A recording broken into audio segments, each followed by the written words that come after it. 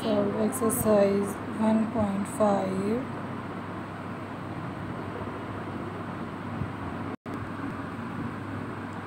question 1 complete question 2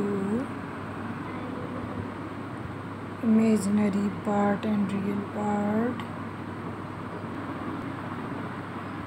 इसी तरह question number three है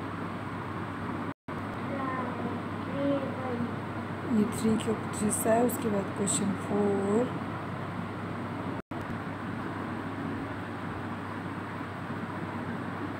अभी क्वेश्चन टू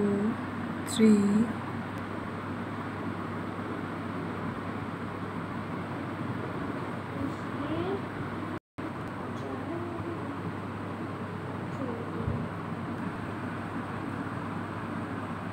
इसी तरह क्वेश्चन फाइव नीचे स्टार्ट है।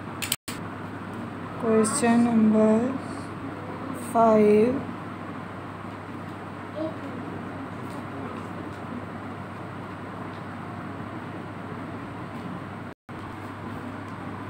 exercise number